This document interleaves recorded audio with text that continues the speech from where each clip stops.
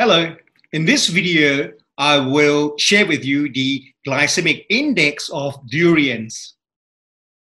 This is a study on the glycemic index of common Malaysian fruits published in the Asia Pacific Journal of Clinical Nutrition in the year 2008. But first, let me remind you what is the glycemic index. It is a ranking of foods based on their immediate effect on the blood sugar level. Uh, as you can see, uh, on the vertical axis is the blood sugar level versus time. Uh, a high GI fruit will give you a big area under the curve and hence a high GI value. Uh, a low GI fruit will have a low area under the curve and hence a low GI value over the, the course of two hours after consuming the fruit. How did they measure the GI index uh, of these Malaysian fruits? Well, an amount of fruit containing 50 grams equivalent of carbohydrates is given to 10 volunteers in this study. For instance, uh, first, the volunteers will do a baseline. They will consume 50 grams of pure carbohydrates in terms of pure sugar. And over the next two hours, the, their blood sugar level is measured. And hence, the, they've got this curve map, um, map, mapped out. And the area under the curve uh, is the baseline. Then the next day, the same 10 volunteers will come back for 207 grams of durians, uh, which is the equivalent of 50 grams of carbohydrates. And then their blood sugar response is measured for the next two hours. And it was and their area under the curve in terms of the blood sugar response is measured and compared to glucose, which is the baseline. And as you can see, durian in this instance, in this study, had a GI index of 49. Let me remind you, uh, a low GI food is a fruit or food that has a GI index of 55 and below. Uh, 55 to 70 uh, is considered intermediate. Uh, high GI uh, foods or fruit is anything with a GI index of greater than 70. So in this study, four tropical fruits were studied.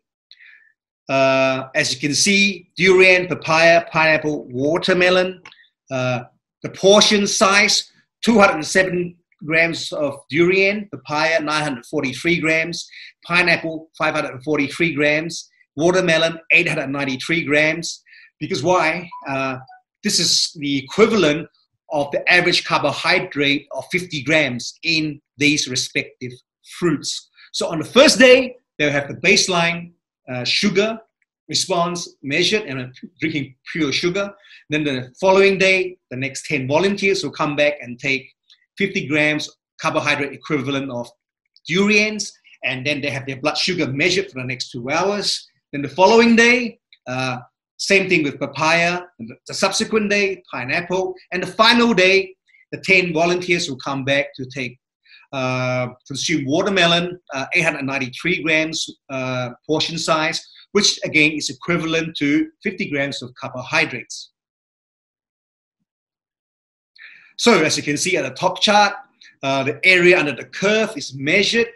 Uh, glucose is the baseline, so it has a GI index of 100 um, pineapple 82, papaya 58, uh, watermelon 55, durian 49.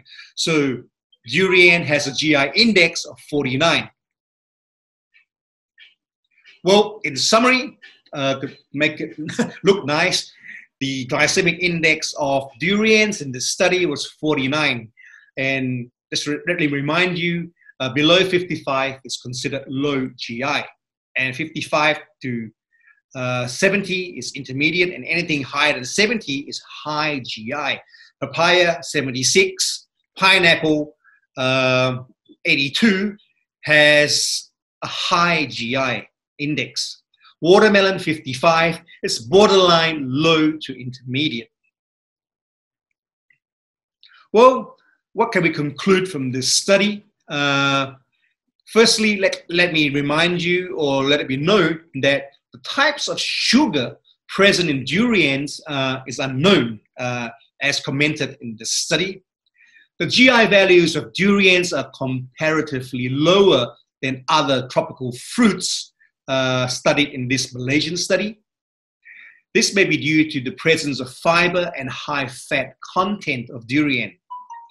Fat may delay gastric emptying and hence carbohydrate digestion and absorption, leading to a low GI index.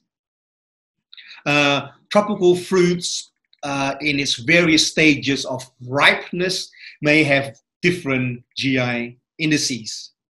Um, and again, the GI index of different durian types is unknown. For instance, is Musang King uh, vis-a-vis Blackthorn or D24 have the same GI index uh, amongst these durians. Uh, no such study has been done, so uh, we are still in the dark as to regards whether different durian strains or types has different types of uh, GI response, GI glycemic index response. The nutritional value of durian, obviously durian is a rich source of nutrients and has high nutritional value. Durian is a good source of healthy fats, uh, being namely monounsaturated fats. High in vitamin C, thiamine, vitamin B6, potassium, manganese, copper, beta carotene, and the amino acid tryptophan. And take note, durians contain no saturated fats or cholesterol. And this is a nutritional uh, facts chart based on a cup of durian, uh, it roughly about 243 grams of durian. Uh, in this serving size, 147 uh, calories is the amount of calories it contains. Uh, as you can see, 5 grams of fat, uh, which is equivalent to 8% of daily value based on a 2000 calorie intake, daily intake. Uh, saturated fat, zero, cholesterol, zero, uh, low in sodium, only two milligrams, uh, 27 grams of carbohydrate. So it's actually quite low to moderate in terms of its carbohydrate content. Health benefits of durian. Firstly, it reduces the risk of cancer due to its high antioxidant content. It prevents heart diseases because several compounds in durians uh, helps reduce cholesterol. Uh, and in itself, it is low or has zero cholesterol. It fights infection because the rin contain compounds that have antibacterial and antifungal properties. Uh, it lowers blood sugar levels uh, due to its low GI value compared to other tropical fruits. So health checks, low or no cholesterol, no trans fat, low in saturated fats, low in sodium, and low in sugar. But like all good things, consume durians in moderation, as you must also consider the glycemic load, not just the glycemic index. And please consult your own personal doctor before heeding any advice from this video.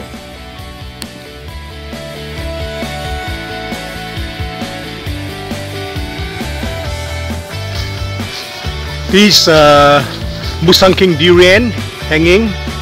This is a Musang King tree uh, you go, Musang King. And that's another Musang King tree. And uh, this is a Pulasan tree, Pulasan. And uh, this is a black thorn, blackthorn, blackthorn. This is a blackthorn tree and this is where it has been grafted on